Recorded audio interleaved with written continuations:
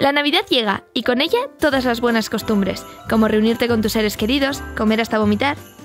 Es un momento en el que les mostramos nuestro amor y cariño. Una forma de hacerlo, pero no la única, es a través de detalles y regalos. Por eso, el amigo invisible es la excusa perfecta para regalar y pasar un buen rato. Los orígenes de esta costumbre son inciertos. Se dice que puede provenir de Venezuela, de Escandinavia y de Estados Unidos. La tradición venezolana viene del siglo XIX, cuando estaba mal visto que las mujeres casadas o prometidas recibieran regalos de sus amigos. Por eso se creó una forma nueva para intercambiarse obsequios. Para que todo fuera más natural, grupos de hombres y mujeres sacaban al azar un trozo de papel con el nombre de la persona a la que les tocaba regalar. Esta curiosa forma de regalar pasó a ser una tradición, llamándose compadre secreto de papelito. Se dice también que el amigo invisible viene de una tradición escandinava llamada Julklapp, donde Yule significa Navidad y Clap significa golpear. Esta costumbre navideña consiste en golpear las puertas, abrirlas y meter los regalos en casa, como si fueran los ayudantes de Papá Noel. Estos elfos, duendecillos y en definitiva amigos invisibles ayudan a su jefe a repartir los regalos si a este no le da tiempo. A diferencia de lo que se hace en nuestro amigo invisible, en cada paquete se escribe una dedicatoria o poesía para adivinar a quién va dirigido el regalo.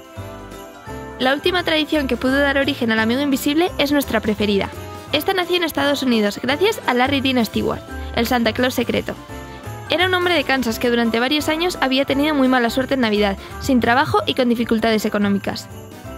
Hasta que un día invirtió en una televisión por cable y se hizo millonario. Desde entonces, cada año Navidad enviaba dinero de forma anónima a personas que lo necesitaban.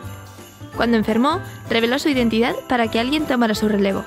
Por eso, es considerado por muchos el verdadero precursor del amigo invisible. Sea cual sea su origen, en la actualidad el amigo invisible consiste en meter en un bote, un plato o en un sombrero papelitos escritos con los nombres de los participantes. Cada una de las personas saca un papelito al azar y el nombre que les aparezca será a quien tengan que regalar. Finalmente, el día acordado, que suele ser cercano a la Navidad, se hace la repartición de los regalos. Según la modalidad del amigo invisible, los regalos pueden ser de un estilo u otro. Las modalidades pueden ser el amigo gracioso, que consiste en regalar objetos vergonzosos, no apto para hacer con tus abuelos. Otra variación es la del amigo invisible temático, en la que todos los regalos tratan de un tema en concreto. Otra versión no tan divertida es la llamada enemigo invisible, en la que se regalan objetos inservibles, los típicos que hacen que tu casa parezca un bazar. Si por casualidad te ves envuelto en un amigo invisible en el que no conoces a nadie, lo mejor que puedes hacer es proponer el amigo invisible invisible. Me explico. Se meten todos los regalos en un saco y estos se cogen al azar. Así no tienes que pensar que comprarle a alguien que no has visto en tu vida. La celebración del amigo invisible sirve únicamente para pasar un buen rato, así que no te agobies si fracasas absolutamente con tu regalo, no tienes por qué desvelar tu identidad. Hasta aquí el Draw My Life del amigo invisible. Si te ha gustado, dale like, compártelo y comenta cuál ha sido el peor regalo que has hecho. Hasta el próximo vídeo.